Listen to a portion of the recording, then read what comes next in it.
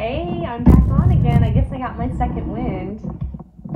Um, so something interesting happened um, as I was rewatching um, the film or the video that I, I just created, um, and which I do. I, I rewatch it um, and I, yeah, I critique myself and like, oh God, oh my God, I didn't say that correctly or I could have said that better, yada, yada, yada um, yeah, I don't I don't need a team of 30 production assistants to tell me that. I, I can actually do it on my own um, just by watching it back and learning from it. It's amazing, isn't it? Um, so anyway, um, the last few minutes I was um, I was covering on my most recently posted video. I got a strange phone call from a number that should not have this telephone number which happens a lot to me. Um, you know, it could be scams, but as a DoD whistleblower and also now a vocal critic of Ron DeSantis and Mike Waltz and what they've done to the state of Florida and how they've imperiled the state of Florida. Um, yeah, I, I don't take anything for granted. So anyway, I did reach out to my mother um, just to be like, hey, are these any of your husband's people? Because he has some people in Lakeland, Florida. And I'm not fond of my stepfather and whatever, but I just, you know, better to check. And I mean, he's he's pretty hardcore military intelligentsia, as I've come to learn. So there is that too. Um, anyway, I don't know anybody in Lake Okeechobee. Um, they did leave a message, a voicemail, and I don't think they intended to. It's it's strange. I it's strange that they have my number. I just like let me see if it'll play. Here, I'm gonna start it over.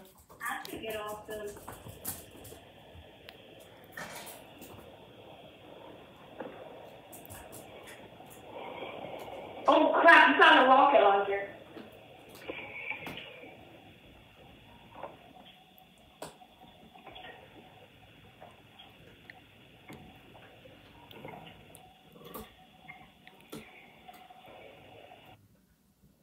So, I mean, I could have gotten butt dialed, but it still begs the question, how did you get this number? Okay, it could have been a rando wrong number. This happens, you know. I It happened more so in the era before um, cell phones because we tend to save our cell phone numbers. So, probably not super likely that it's the wrong number. And I'm guessing with, I'm going to go with butt dialed because they didn't realize that that voicemail was going. Yeah, so maybe they had my number and but dialed me, which begs the question, how the hell do they have my number?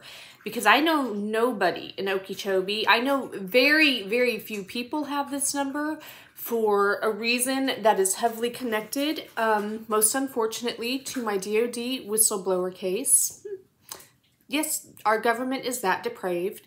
Um, they know what they did, so I don't have to point it out. The select subcommittee can. um, I don't know nothing about that.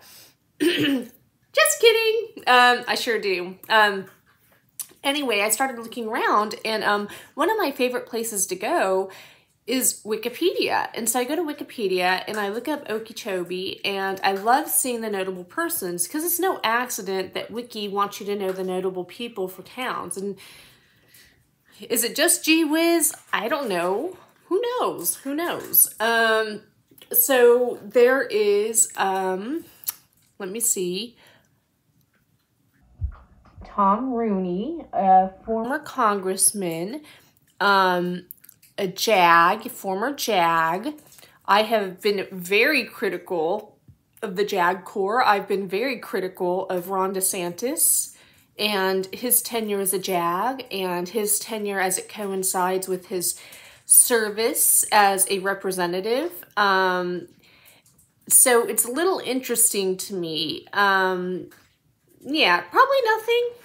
But again, you know, when you're as critical as I have been about some scary people and you don't have bottomless pockets like those scary people do, yeah, never hurts to, you know, take precautions. Um, could have just been an honest misdial.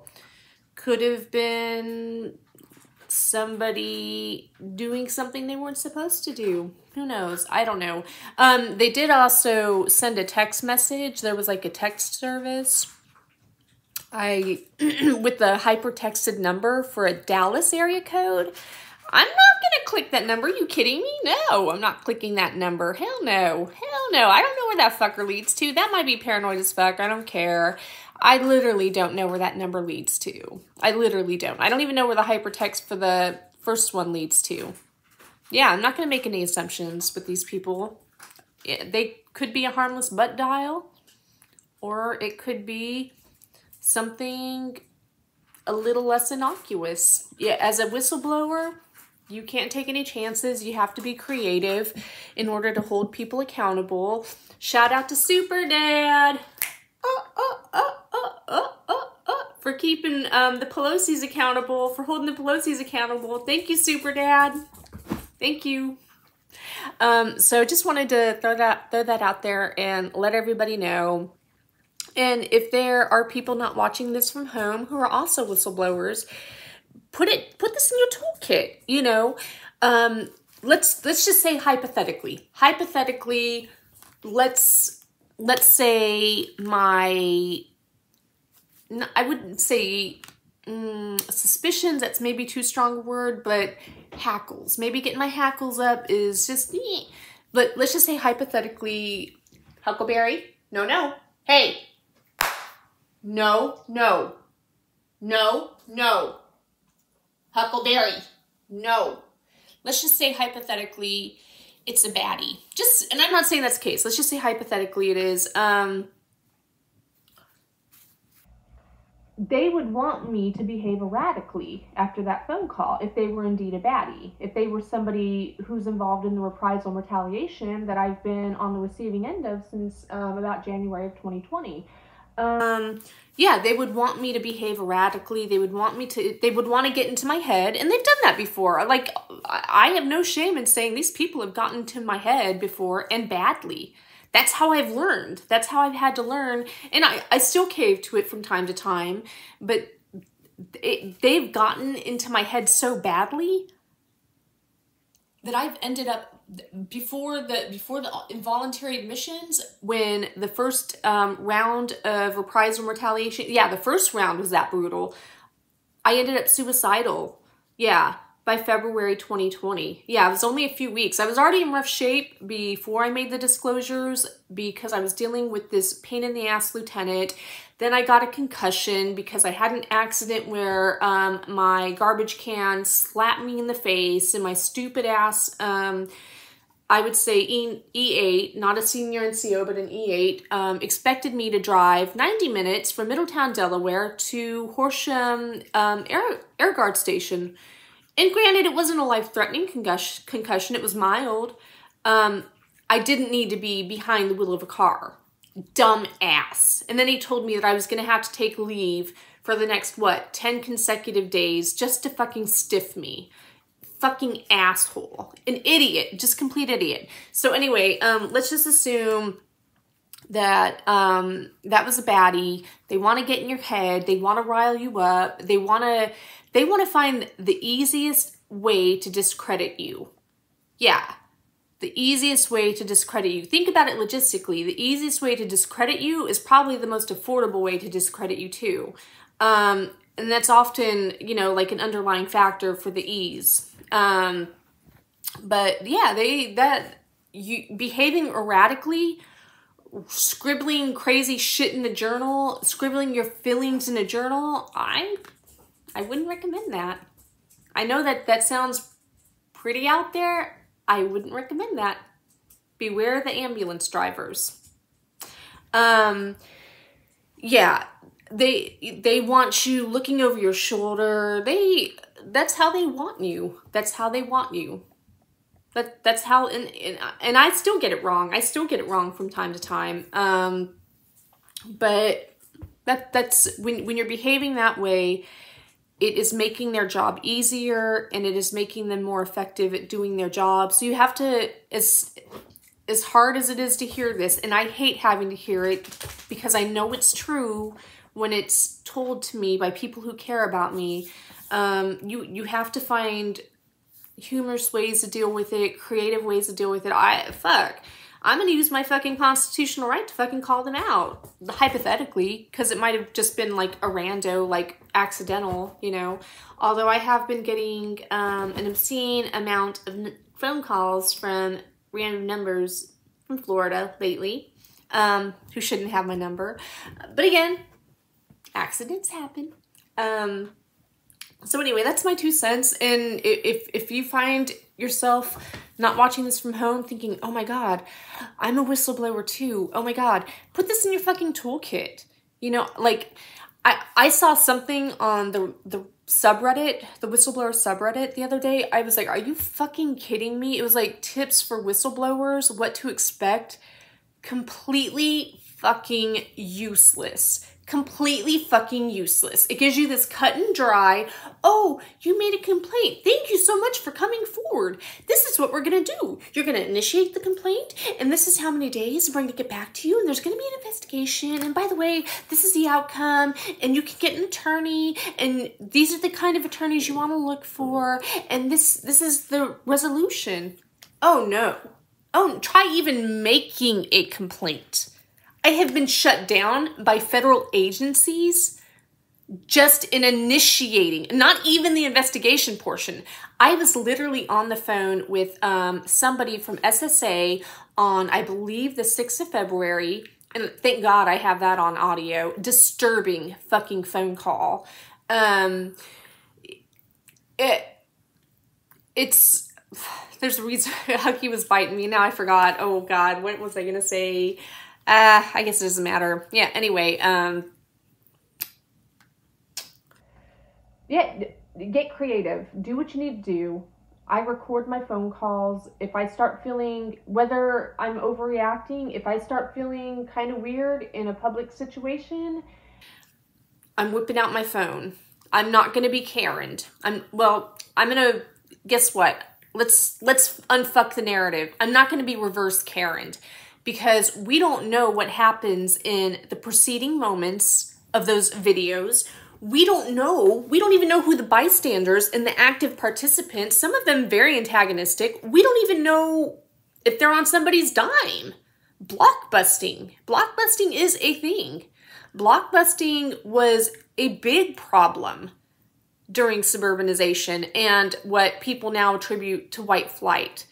Um, or attribute white flight to that. Well, okay, yeah, whatever. I'm I'm trying to sound fancy and it's it's, you know, it's not working out well for me, so I should just, you know, sound trashy. So, um can, can I have my hand back, please? Oh my god. Uh, so much bitey. So yeah, do what you need to do. Do what you need to do because these people are they nothing is sacred to these people. Nothing. Absolutely nothing is sacred to these people. Sometimes not even their own children. Yeah. Just sick. Just just absolutely divorced from what is good what is kind what is moral what is just, what is right, what is courageous, just absolutely divorced from it. So, so don't take any chances. And you know what? My rationale for anybody sitting at home think, well, it's crazy even think that. Well, fuck you. Walk a mile in my goddamn shoes and then tell me that that's crazy. It's like that, um, I don't, I won't go into it. Um, but, um, yeah, walk a mile in my shoes and then tell me, tell me that I'm crazy for having that reaction. Yeah, it might seem inappropriate to you, and I'll grant I'll grant you that. But there's a very good reason why I react the way that I do. And I'm not saying that it's grounds to not change it. I'm working on it, and that's all anybody ever needs to know. I, I think I'm a, a pretty fucking stand-up human being. I pay my taxes. I don't violate people. I don't harass people. I, yeah, yeah, so I mean, I use my my civil liberties to criticize elected officials and people people in positions of power who are abusing that power and abusing it greatly. And yeah, I mean, I, I'm going to keep on doing that. Why not? I mean, I did it in the service. It served me well uh, because I found my vocation. You know, yeah, I lost my job, sure, but what I found was so much greater than a job. And, and that's not a sour grapes kind of, I, I, I loved forecasting. Loved it. Um, but anyway, I don't know why I'm blathering on. I'm going to get off the horn and maybe one day I'll do like, um, like a DoD whistleblower diary playbook. Like things that have helped me, um, things that I've done wrong where I've been like, fuck, why didn't I just do this? Why? Why? Um, things that I didn't even think about because when you're when you're so bogged down by the terror and the fear, I mean, we're talking pathological terror, pathological fear, um, and not unwarranted. Absolutely not unwarranted. It is so hard to think critically in those moments. So I'm I'm looking back even now, and I'm just like, oh my God, I never thought about that from that angle. Like, um, with regard to my, even my hospitalization at the VA hospital, it just occurred to me, um, two weeks ago, three weeks ago, as I was talking that, and I completely forgot it, completely forgot it. It, it occurred to me as I was talking about two to three weeks ago that my spouse knew explicitly that I was terrified of the VA hospital system, the VA healthcare system, and military healthcare explicitly because of what happened to me at Dover Air Force Base Mental Health Clinic. He knew that for a fucking fact and a half multiplied by infinity squared. Um, it didn't occur to me until two weeks ago, and I already knew. I mean, by two, by by late August of 2022, early September, the writing was on the wall. I mean, it was it was like fucking spray paint my fucking eyes and some mace and some billy clubs up in there. But the writing was on the wall. But that that profound um, tidbit that I completely overlooked didn't occur to me till two weeks ago. So I'm still, as I'm healing and processing and moving on from these, eh, I'll just leave that close to the vest for now. But as I'm, I'm moving on, I'm I am getting different kind of like getting maybe gaining different sense of clarity from the situation. Um, and there have been a couple of like, oh my God, how did I not even think of that? Like how did, but I, that's, I mean, that's when you're in the terror in the fear, it's, I mean, I'm human. It was damn near impossible for me to think critically, and it only makes sense as I'm like, um, as I'm moving towards a state of wellness and recovering from a, a, just obscene trauma. Um, it's yeah, like yeah. Of course, I'm starting to get different perspectives on it and um, think more critically, more healthfully about it. Um, yeah, I guess it's only natural. But um, so anyway, yeah, one of these days I'm gonna make like a a little whistleblower's guide that's actually helpful. That'll actually help you manage your expectations because the thing that that little fucking handout on Reddit did not disclose, this will likely within scale, obviously, um, to your disclosure. Um, but either way, suffering is suffering. Um, it's not going to be easy. They are not going to make it easy on you. If this is a corporation with deep pockets, they are going to try to fuck you 69 ways from Sunday. You have to be strong. Like they're gonna, they're going to talk about your mental health. They're going to talk about um, perceived addictions. They're going to talk about your behavior. They're going to talk about your performance. They're going to speculate about your marriage. They're going to speculate about your relationships. They're going to leave no stone unturned. And they won't hesitate to say something um, um, baldly false, patently false, maybe even criminally false about you yeah, they they won't. Um, but I I got to get on that. I got to get on that. I I've learned so much from the process, and quite frankly, I'm still learning from it. Yeah. Um. Anyway, I'm gonna get going. I'm gonna go bullshit. And Hucky took a big Walmart dump for me to clean up. Yeah. Hey, thank you for that. I appreciate that. Kind of like Crayoc taking a shit on the American working class um, majority that um, cannot afford a, a designer garment just to throw paint on it. Yeah, ooh, that's not going to age well. Yeah, if you're claiming to be for the people, taxing the rich to feed the poor, you wearing a garment that one of your constituents, one of your average constituents who lives well below the poverty line could feed her because you have a, a, high proportionality of single mother households in your demographic, could feed her family of children, multiple, three to five, um, probably for several months. And you just, you dump paint on it to make a statement because Anna Wintour invited you to the Met Gala.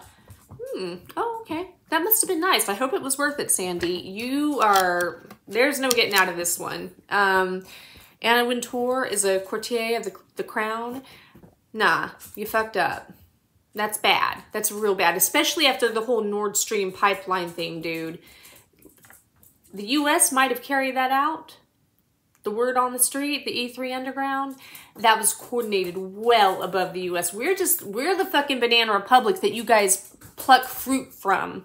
Yeah, we're the, we are the Hunger Games. We're the fucking tribute that Jenner, Jennifer J. Fraud Lawrence has made bank off of.